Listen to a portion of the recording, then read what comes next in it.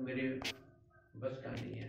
दादा गुरु प्रार्थना करी कि आप किसी को दो गद्दी लेकिन मेरे बस का नहीं मैं तो घर बार भजन के लिए छोड़ा। उसके पश्चात आश्रम में रहने बारह वर्ष काशी जी बहुत पूर्ण विद्या प्राप्त की। फिर गुफाओं में, पहाड़ों में, एकांत स्थान में बहुत तपस्या करी। हर प्रकार से निपुण हो गए। महाराज जी के साथी थे, गुरु भाई थे। साधना सदन कनखल में। जैसे महाराज जी हाथ पे भिक्षा लेके खाते थे करपात्री हाथ पे भिक्षा लेके खाना। कोई सामान नहीं, बस जितनी ज़रूरत से ज़िंदगी निकली, बस उतनी ज़रूरत रखनी। चद्दर है, चिप्पी है, और जल कमंडलू है ऐसा। कम जरूरतों में जीवन की साध करी उन्होंने। कल भी मैं बता रहा था, महाराज जी का फरमान है, अपने आप के साथ जुड़ के रहो। सारा दिन, सारा हफ़्ता, पूरा महीना, वर्ष भर, ज़िंदगी भर कल मैं बता रहा था इससे क्या होगा? जो माया के प्रलोभन देती है, उससे जीव बच जाता है। महाराज जी के गुरु भाई थे, महाराज जी ऐसे थे, वो भी ऐसे थे। उनको क्षेत्र ले गया मुंबई में। तब महाराज जी वहाँ चलो, हमारे वहाँ पवित्र करो जगह, वहाँ कुटिया बना देंगे, ये करेंगे, वो उनको वहाँ ले गया। तो वो माया का प्रबोधन हो गया। मर उन्होंने कहा, मैं तो भाई हरिद्वार ही जाऊँगा, चलो महाराज, वही कुटिया बना देते हैं। आज कनखल में साधना सदन के नाम से कुटिया बहुत विशाल बना रखी मतलब माया किसी न प्रकार से चकमा दे जाती है। एक सदगुरुदेव भगवान का मैंने आपको कई दृष्टांत दिए, कई लोग आकर के ऑफ़र करते थे, महाराज, आपकी कुटिया बना देते हैं, आपका यहाँ ठहरो आके वहाँ ठहरो, ये कहाँ खंडरात में पड़े हैं? महाराज के नाम, भाई मैं तो भजन करना यही ठीक है खंडरात इसकी रिपेयर भी ना करो। तो माया आकर के कोई ना कोई बाधा बन जाती है, आपको माया का प्रसंग बताया था भगवान कहते एक तरफ़ माया हूँ एक तरफ़ माया खड़ी है। दोनों में से एक चीज़ ले लो, आपके तो माया भी दे दो, आप भी आ जाओ, ऐसा नहीं। दुर्योधन आए, भगवान से सहायता मांगने के लिए महाभारत का युद्ध था। आगे सराहने बैठ गया। और जब भगवान की भगवान तो अपनी लीला कर रहे थे। भगवान ने जब आँख खोली और अर्जुन बैठे थे चरणों में तो उन्होंने कहा, अर्जुन, कैसे आए भाई? दुर्योधन बोला, महाराज, पहले तो मैं आया बैठा हूँ। वो सिराने बैठा था। महाराज ने टेढ़ी निकाल करके देखा, ऐसे घूम के पीछे को तो तभी काम हो गया था। गड़बड़ दुर्योधन को कहा कैसे आए महाराज जी? मेरी सहायता करो। महाभारत के युद्ध में। तो भगवान ने कहा देखो भाई एक तरफ़ तो मैं हूँ एक मेरी अठारह क्षण में एक मेरी सेना है। जिसको लेना एक को ले ले। लेकिन मैं युद्ध नहीं करूँगा। मेरे को लेना मैं युद्ध नहीं करूँगा। मैं युद्ध में भाग वो नहीं करूँगा। शस्त्र नहीं उठाऊँगा। दुर्योधन ने कहा महाराज फिर क्या करूँगा आपका? तो सेना ही दे दो। ये है माया। और अर्जुन, तुम कैसे आए? भाई माया जी महाभारत का युद्ध, मैं भी आया हूँ आपकी सहायता लेने के लिए। भाई, देखो, एक सेना है, एक मैं हूँ। महाराज, मुझे सेना नहीं चाहिए, मुझे तो आप ही चाहिए। आप मेरे जीवन रूपी रथ की बागडोर आप संभालो। जहाँ भगवान आ गया वहाँ सब कुछ आ गया। तो इस प्रकार माया आके बाधा बन जाती है। वह बीच सोहे कैसे? जीव ब्रह्म बीच माया जैसे। आगे आगे भगवान श्री राम जी जा रहे जंगल में, उनके पीछे पीछे माँ सीता जी, पीछे पीछे लक्ष्मण जी हैं, चलते चलते उनको सीता जी बीच में आ जाती हैं, दर्शन नहीं होते, बड़े व्याकुल हो गए। तो वहाँ पर तुलसीदास जी वो है बीच, उन दोनों के बीच में। सिया जी ऐसे सुशोभित हो रही है जैसे जीव और ब्रह्म के बीच में माया आ गई तो इस प्रकार माया से भगवान कहते हैं, दैवी ऐसा गुणमयी, मम माया दुरुत है मेरी माया बड़ी दुरुस्त है। अर्थात इसको पार करना, इसको लांघना बड़ा कठिन है। भगवान स्वयं कहते हैं। लेकिन उसका दूसरा पार्ट भी है। महाराज, बहुत कठिन है, फिर क्या करें? हम बैठ जाएँ ऐसे करें। नहीं, भगवान कहते हैं, जो मेरी शरण में आ जाते हैं, जिनको मेरा आश्रय है जिनको मैं ही, जिनके आधार मैं ही हूँ तो वो माया से तर जाता है। एक पार्ट तो ये बताया भगवान ने कि माया बड़ी दुष्ट है नापना बड़ा मुश्किल है। उसके साथ उसका सिक्के का दूसरा हिस्सा बता दिया तो भाई अगर माया को लांघना है, मेरे तक आना है तो मेरी शरण में आ जाओ। तो ऐसे सब गुरुदेव भगवान ने अपना सारा जीवन बहुत ही निराले ढंग से बहुत ही भगवान के आश्रय लेकर के भगवान का लक्ष्य लेकर के उन्होंने अपना जीवन व्यतीत किया। तो आज सारा दिन महाराज कहते मैं इसी जन्म में साधु नहीं मैं पिछले जन्म में भी साधु था। वहाँ जाके ईश्वर से पूछ लो। मैं पिछले जन्म में भी साधु था वहाँ पर। अतः कई जन्मों की तपस्या करते करते महाराज यहाँ पर बहु नाम जन्म नाम उनते ज्ञानवान नाम प्रपद्य वासुदेवा सर्वमिति सा महात्मा स दुर्लभ कई जन्मों के अंत में आकर के फिर रास्ता मिलता है चरणों में आने का। तो इस प्रकार पूर्ण श्रद्धा, भक्ति के साथ जब जीव भगवान की तरफ़ लगता है। जीवन का लक्ष्य हमारा वही है, भगवान तक तो पहुँचना। इसके लिए हम प्रभु की भक्ति करते हैं। अब प्रभु से आगे प्रार्थना करते हैं कि हे प्रभु, हमें सन्मार्ग के लिए आगे बढ़ाइए। जो इस मार्ग पे आगे बढ़े हैं, वही हमारा हाथ पकड़ सकते हैं। सब गुरुदेव ने बहुत संसार में देखा। तो संसार में घुसे नहीं, बाहर से संसार को भी देखा और भगवान के सानिध्य में भी उनका भी अनुभव किया।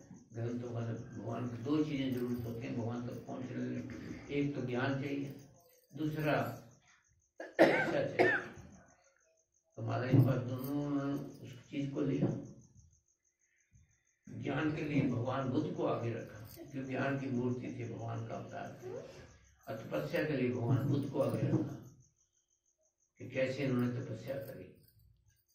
भगवान बुद्ध ने कहा कि उन्होंने अपने शरीर को बिल्कुल ऐसे सुखा दिया था फिर निष्कर्ष निकाला। भाई वीणा को इतनी मत कसो वीणा की तार को इतना मत कसो ताकि टूट जाए। इतना भी ढीला मत रखो कि भर भरा भर भरा ही आ जाए। तो इस प्रकार ज्ञान और तपस्या को लेकर के सदगुरुदेव जी आगे बढ़े। हम उनके चरणों में प्रार्थना करते हैं, प्रभु, हमें भी अपने हाथ अपने हाथ हमारा पकड़ा है। हमें भी प्रभु सत मार्ग पे आगे बढ़ाते रहिए। भगवान से हम प्रार्थना करते हैं। उसके तत्पश्चात हम सहारा कलयुग केवल नाम धारा, नाम जप के साथ शास्त्र कलयुग केवल नाम धारा सुमर पारा। पहले यज्ञ हुआ करते थे, कहीं दान पुण्य हुआ करते थे, कहीं कुछ हुआ, तपस्या हुआ करती थी। अब तो भाई कुछ रहा नहीं, बस एक नाम है हमारे नाम जाप कर रहे भगवान का आश्रय लेकर के भगवान के गुणों का चिंतन करते रहे। कल परसों भी सत्संग होता है जितना हम गुणों का चिंतन करेंगे, वो चीज़ हमारी अपनी बन जाती है। तो भगवान गुणों को देख करके हमारे को दर्शन देते हैं। सतगुरुदेव भगवान फरमाते हैं कि भाई, हमारे कौन, हमें तो कौन पूछता है? ये गुण है हमारे अंदर, जिनकी हमारी कदर होती दुनिया हमारे पीछे लगी तो गुणों का अर्जन करना, मीठा बोलना, मीठा व्यवहार करना ये सदाचार ये जीवन में अपनाना इसका भी पाठ ये साथ में आ रहा है। गुरु की सेवा करते करते तो सदाचार का जीवन हम महाराज जी के नाम से आप लोगों को दीक्षा मंत्र देते हैं, गुरु मंत्र देते हैं। अब कोई कोई सत सत महाराज हैं, कोई कहते सौ महाराज जपो को पचास माला जपो को ग्यारह माला जपो को कुछ बोलता है। लेकिन आपने हमारे श्री मुख से, हमारे मुख से कभी नहीं सुना होगा। महाराज के श्री मुख से कभी नहीं सुना होगा कि भाई इतना करो इतना करो ना। महाराज कहते हैं, भाई, थोड़ा करो, भाव से करो। भगवान का एक माला फेर लो गदगद होकर फेरो, भगवान के स्वरूप का चिंतन करते करते फेरो। मुझे एक ही माला काफ़ी है। अंतक्रम धुले, हमारे प्रेम अश्रु आँखों से निकले, भाव गदगद होकर के। कुरुक्षेत्र में बैठे, कोई पाठ कर रहा था। गीता का उच्चारण कर रहा था, गीता पढ़ रहा था। ये साधु उधर से निकले और रुके वहाँ देख करके, उन्होंने देखा कि अशुद्ध पाठ कर रहे हैं। इसको संस्कृत आती नहीं, पाठ कर रहा है। जब उसका पाठ समाप्त हुआ, उसको कहा, भगत जी, ठीक ठीक पढ़ो, आप ठीक नहीं पढ़ लेते ये? महाराज जी, मुझे क्या पता, क्या पढ़ना मैं कौन सा पढ़ा लिखा हूँ? मैं पढ़ रहा था, मेरा ये देख रहा था कि भगवान श्री कृष्ण जी अर्जुन के रथ में बैठे हुए हैं। बागडोर मूर्ति पकड़े हुए हैं। उसको ज्ञान मुद्रा दे रहे हैं। भगवान का कितना सुंदर स्वरूप है। कैसे करुणा में, कितना दया में, कैसा सुंदर स्वरूप, मेरा मेरा ध्यान तो उधर ही था।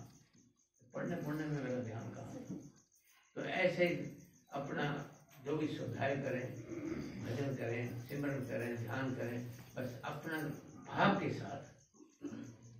भाव अंदर अंदर, अंतकरण पिघल पिघलता नहीं, पत्थर मन हमारा। माता बहनों का जो मन है, दिल है, ये बड़ा मोम है। मिनट में देखो इतना हंस पड़ेंगे मिनट में देखो तो रो पड़ेंगे आज मुझे कठोर है, जो मर्ज़ी करते रहो, जो मर्ज़ी हो जाए इनके साथ। मजारा आँख में एक आँसू भी निकल निकलता ही नहीं। और भगवान को आँसू चाहिए। भगवान की खुराक है। तो ये अपने मन को पिघलाना है। जाप के द्वारा, भजन के द्वारा, कीर्तन के द्वारा, सत्संग के द्वारा अपने मन पिघले भाव जागे। कोई सी वृत्ति अंदर आ जाती, काम सारा शरीर कांपने लग जाता है। क्रोध आता है ऐसे आदमी कांपने लग जाता है? उसमें फ़ोटो देखो कैसे होती जा क्रोध में होता क्या उसका हाल हुआ होता जैसे क्रोध अंदर सारा अंदर सारा शरीर कांपने लग जाता है। दूसरी वृत्ति आ गई, काम की गई लोभ की गई सारा शरीर में तरंगे फैल जाती है। भगवान का नाम लेते हैं हिलता नहीं मन, बस सुन का सुन, ऐसे पड़ा रहता जब भगवान का नाम लेना हुआ, अंदर जाके कोई कोई ऐसे रामायण पढ़ते हैं, कंठ अवरुद्ध हो जाता है, आँखों से बस शरीर गदगद हो है, शरीर रोमांच ऐसे हो जाता है, रोंगटे खड़े हो जाते हैं, ये है भजन ये है भजन तो ये पर पिघलाना अपने आप ये पत्थर दिल जो अंदर है ना, इसको पिघलाना है। कई माता बहन दुख में रोती मैं तो भाई प्रभु, मैं तो आपके लिए रो रही दुख लग तो लिए की बात नहीं। मैं तो आपके विरह में रो रही मैं तो आपको स्मरण करते करते प्रभु व्याकुल होकर रो रही मैं आपके दर्शनों के लिए रो रही तेरा ये भजन बन जाएगा। तो ये अपने अश्रु भगवान के नाम से निकलने लगे आँखों से, प्रेम अश्रु, बस जीव का कल्याण है। बस ये हम सदाचार कह रहे मीठा बोलना, मीठा व्यवहार। जब हमारा ये हो जाता है, फिर भगवान प्रसन्न होते हैं, हमारी साधना बिल्कुल ठीक चलती है। तत्पश्चात आ जाता है ब्रह्मचर्य का भाव। ब्रह्मचर्य का भाव, देखो इतने बच्चे लगते हैं, बड़े पढ़ाइयाँ करते हैं, कोई कुछ पढ़ाई कर रहा है, कोई कोई डिग्रियाँ ले रहा है, कोई कोई डिग्री कितनी मेहनत करनी पड़ती है। अब हमारे जीवन का लक्ष्य कि हमने भगवान के दर्शन करने हैं, भगवान के साथ जुड़े रहना है, अच्छे मार्ग पे रहना है, सत्य मार्ग पे रहना है तो इसके लिए भगवान कहते हैं यथे छंदो ब्रह्मचर्य चरंती जिन्होंने मेरे तक पहुँचना है, जिन्हें सत्य मार्ग पे चलना है, जिन्हें अपने जीवन का कल्याण करना है, जिन्होंने उस परमात्मा को पाना सत्य को पाना है, भाई उनको अपने आप को योग्य बनाना पड़ेगा। शेरनी का दूध जो है ना पित्तल के बर्तन में, सिल्वर में, स्टील में, नहीं टिकता। तुरंत फट जाता। है सोने का बर्तन चाहिए उसके लिए, शेरनी के दूध के लिए। इसी भगवान के दर्शन के लिए हमें अपने आप को तैयार करना पड़ता। है भगवान कहते हैं, अगर मेरी पाने की इच्छा है मेरी तक पहुँचने की इच्छा है, अपना स्वस्थ शरीर रखना है, परिवार के कार्यों में बढ़िया रहना है, कारोबार में बढ़िया रहना है, अपना स्वस्थ जीवन जीना है तो यथ छंद तो ब्रह्मचर्य चलती अपनी शक्ति को भगवान की तरफ़ लगाओ। सदगुरुदेव भगवान सोलह साल की उम्र में निकल गए थे घर से। उनकी चेहरे के ऊपर ऐसे तेज छाया रहता था। वो अम्बाला में मेरे सामने फोटोग्राफर आया, जहाँ जगदरी रुके हुए हैं। और कहीं शादी में आया महाराज पास आया फोटोग्राफर पास था। महाराज जी फ़ोटो लेनी आप महाराज कहते, बहुत फ़ोटो उधर ले लो, शुरू पर ले लो, उधर ले लो। नहीं, महाराज, आप नहीं नहीं भाई, कोई फ़ोटो खींची जाओ। उनको भगा दिया। महाराज के दिया वो बाहर गेट के पास ही पहुँचे, मेरे पास बुला ले, हमको बुला ले। ले लो भाई फ़ोटो ले लो। अब फोटोग्राफर महाराज जी, ऊपर देखो, महाराज जी नीचे देखो, महाराज अरे तू बाहर भाग। खींच नहीं खींच ले। ऊपर नीचे ले कुछ नहीं होता। महाराज ने फ़ोटो खींची। आपके बाद में आगे कहते हैं फ्लैश पड़ गई। महाराज जी ने कोई चमका क्या हो गया? फ्लैश पड़ गई, क्या हो गया? फ्लैश कहाँ थी? तो तेज था उनका। उसके अंदर नूर है जैसे हम भगवान के वो पीछे तेज बनाया हुआ वो पीछे, प्लेट बनाई हुई पीछे, और तेज। ऐसे जब हम हम तो ब्रह्मचर्य चरंती, जब हम ऐसा करते हैं अब महात्मा लोग आ जाते हैं। चौथा लोग उनकी क्या बात करें? तो यह थे छंतो ब्रह्मचर्य चरंती जिनको भगवान की तरफ़ बढ़ना है, सत्य के मार्ग बढ़ना है। अपने घर गृहस्थी बड़ी सुंदर निकालनी है। शरीर अपना स्वस्थ निकालना अपने कमल के फूल की तरह जीवन के अंदर निखार लानी है। यति छंतो ब्रह्मचर्य चलंती भाई, अपनी शक्ति का सदुपयोग करो। बुद्धि का भी सदुपयोग करो। मन का भी सदुपयोग करो। इंद्रियों को सदुपयोग करो शरीर का भी सदुपयोग करो। इनको उचित आहार दो। ये पढ़ाने वाले लेक्चरर होते हैं, उनके घंटे थोड़े होते हैं। जो गाड़ी जो कंट्रोलर होते हैं, वो बैठे होते हैं, उनकी ड्यूटी थोड़ी होती है। बहुत मन दिमाग खपाना पड़ता है। तो इसलिए अपनी भगवान तक पहुँचना है, स्वस्थ जीवन व्यतीत करना है, घर गृहस्थी निभानी है। अपना सामाजिक रूप से, अपने कारोबार में बहुत अच्छा रहना है। ये कमल के फूल की तरह है। तो भगवान कहते जति छंतो ब्रह्मचर्य चलंती ये ब्रह्मचर्य की शक्ति शरीर के अंदर एक ऐसी चीज़ है, जिसके ऊपर हमारा शरीर सारा टिका हुआ है। हम मकान की नींव बनाते हैं, बहुत अच्छी नींव बनाते हैं। क्यों? दो मंजिला बनाना, तीन मंजिला बनाना, कहाँ तक जाना? बड़े बड़े शहरों में तो फिर बीस बीस मंजिला तीस तीस मंजिला बनता मैं तो उनको कहता हूँ, भाई, आपको तो बेकाउंट नज़र आता होगा ऊपर। तो बीस बीस मंजिल छब्बीस मंजिल, तीस फ्लैट नंबर तीस पे तीसवीं स्टोरी पे रहते ऊपर तो भगवान ही नज़र आते होंगे तुम्हें। फायर ब्रिगेड वाले भी कहते हैं भाई हम पाँच दस पाँच सात मंजिल तक तो बचा सकते हैं। कहीं कुछ हो जाए भाई तुम भगवान के सवार हो। तो इस प्रकार शरीर को अच्छा बना, बनाने के लिए तो शरीर के अंदर एक ब्रह्मचर्य जैसे ना मकान की नींव बनाते बहुत अच्छी नींव बनाते मकान बड़ा ऊँचा खड़ा करना है। इसी प्रकार हमारे ये ब्रह्मचर्य जो है, ये हमारे शरीर की नींव है। अगर हमारे अंदर ब्रह्मचर्य की शक्ति है तो हमारा शरीर स्वस्थ रहेगा। छोटे छोटे बच्चे आए थे बोल रहे बच्चे छोटे बच्चे कहीं जुकाम हो रहा है नज़र हो रहा है खांसी हो रही छोटे छोटे बच्चे। बड़ों का तो हाल है ही छोटे छोटे बच्चों का। कहीं चश्मे लगे हुए हैं, कहीं कुछ लगे हुआ छोटे छोटे बच्चों का। तो ये है ये देखो बुज़ुर्ग बैठे हैं, बिना इनके पढ़ते हैं, मेरे को अस्सी साल के नब्बे साल के बिना चश्मे के पढ़ते हैं देखो। तो यथ छंतो ब्रह्मचर्य चरंती ये ब्रह्मचर्य की ऐसी शक्ति है जिसके ऊपर हमारा शरीर खड़ा हुआ है। संत सतगुरुदेव भगवान ने भगवान को पाया, भगवान तक पहुँचे। तो ये शक्ति से पहुँचे। ये तेज है हमारे अंदर। उससे अच्छा भजन हो गया, भजन होने से अपने तो ये इस चीज़ को पहचानना चाहिए आँख से उतना देखना जितना ज़रूरत है, वाणी से उतना बोलना जितना ज़रूरत है, कान से उतना सुनना जितना ज़रूरत है, अपने जैसे चोर चोरियाँ करते हैं ऐसे अपने आप को बचाओ, अपनी शक्ति को बचाओ। बचा बचा के इकट्ठी करो, उससे अपना गृहस्थी निभाओ, अपना व्यापार करो, कुछ करो, उससे हमारा शरीर सबल रहेगा। तो ब्रह्मचर्य शक्ति को पहचानो चालीस दिन में जो कुछ खाते पीते हैं उसमें थोड़ी सी शक्ति बनती है चालीस दिन में। एक बार शक्ति का ह्रास होने का मतलब चालीस दिन का खाया पिया सब धूल मिट्टी तो अपने इस ब्रह्मचर्य के साथ ही हम अपना जीवन बहुत अच्छा व्यतीत कर सकते हैं। शरीर ठीक है? शरीर ने भी नहीं तो स्वस्थ जो अच्छा स्वस्थ जीवन ये बहुत बड़ी भगवान की देन है। मैं मारापुटी के पास वहाँ ठहरता हमारे ठहरा थे हमारे साथी, साथ में कॉलेज था। बच्चे आ जाते दोपहर को। बस कुछ सिगरेटें फिरा साथ में होटल था, कुछ सिगरेटें फिरा कोई कुछ खा रहा है, कोई कुछ खा रहा है। मेरे से नाम बेड़ी संत मिला पार उतारण खाम खा उनको क्या लेना देना? मेरे को पंगा लेने की ज़रूरत है। मैं पूछे, बेटा देख